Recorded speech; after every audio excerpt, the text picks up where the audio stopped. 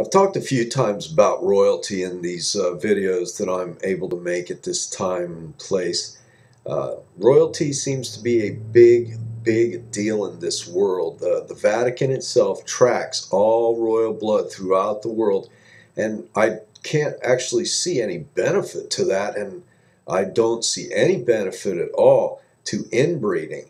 But apparently, there is some benefit to someone, definitely not the people but to I would say um, people who are in the on the inside, not people at large, people who are royalty, the very smallest minority in the world, and um, and if they're breeding amongst themselves and they're they're not allowing themselves to outbreed, what what strength is there in that? There's nothing but retardation in that, and and a great unraveling, and and you have some of the greatest powers in the world behind all that. So I just don't get it. Okay, and I'm, I'm pretty sure I'm right. You know, I'm positive I'm right. I know this for a fact. It cannot be disputed. Inbreeding is bad. Just ask the Mormons. They all look alike. They all look like Carl, Karl Rove. Uh, the, the men do anyway. You know, and I didn't understand any of this. I was out west. I had asked, you know, what's the Mormons? You know, I've heard about them. They're funny people. They do odd things. They like to surveil. They like to do anything they can that they think they can get away with. They're the greatest drug smugglers in the world. You know, they anything for a dollar that they think they can get away with. And if you happen to talk bad about them, they're up in your face like, you know, how dare you talk bad about the Mormons? And um, I just I just didn't know. But a couple of times I asked people, you know, well, is that guy over there? Is he a Mormon?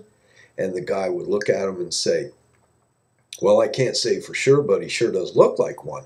And it took me a while to realize, oh, this is what's going on. They're they're inbreeding, and they've inbred really badly over time. And I won't say that they go to family reunions to pick up chicks, you know, like other places here in uh, the, in La La Land, but. Uh, it's they they don't like to breed out. They I, they have strict rules, I think, okay, about associating with non-Mormons. And that's the bottom line to that religion. And it's a very closed group. And when you have that kind of thing, you get inbreeding. Same thing with royalty, you know, that's the problem, you know, and, and even in small countries or small ethnic groups, inbreeding, it's a problem. Now, uh, this royalty situation has even permeated America. Supposedly, Obama's related to Dick Cheney somehow, and supposedly all but one of our presidents has a common ancestor to some king back in England.